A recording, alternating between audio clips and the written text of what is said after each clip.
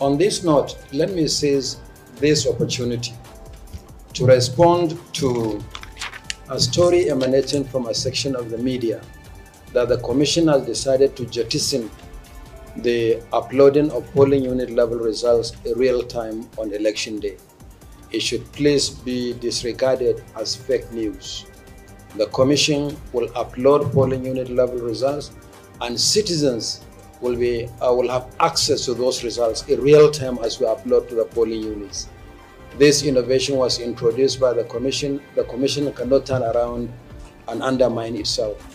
Uh, so this technology has come to stay. We'll upload polling unit level results from the polling unit. Citizens will have the right to view these results. After all, who are we serving? The citizens. How can we deprive citizens from access to um, the results Uh, of the process conducted by them at the level of polling units.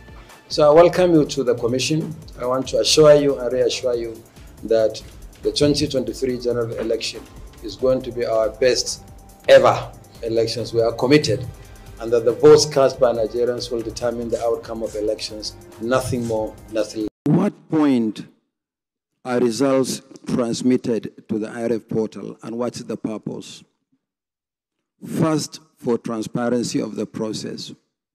And when it goes to the ward level collation, which is the first layer of collation, where there is a discrepancy between the manual copy brought by your agent from the field, it should be, that discrepancy should be resolved against the electronically transmitted results, either on the portal or on the machine.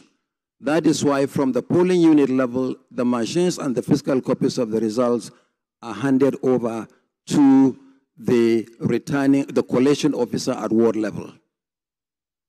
This procedure has taken place at ward collation level. And you had agents at ward collation level. From there, it went to the local government collation level, then the state collation level, before the results are presented here. So it is not at this point, with due respect, the agent of the PDP, that you'll talk about the display of the polling unit level result because you don't have copies of the polling unit level results. It is at that point that it ought to have been done.